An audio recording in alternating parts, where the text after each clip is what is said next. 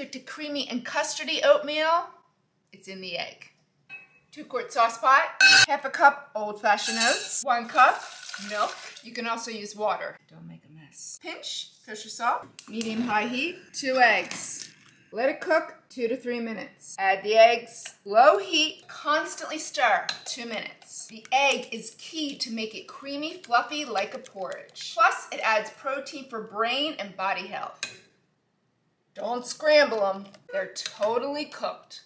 Relax. Honey, the ultimate breakfast of champions. Because you are a champion. Add some berries on top because you fancy. Start your day right.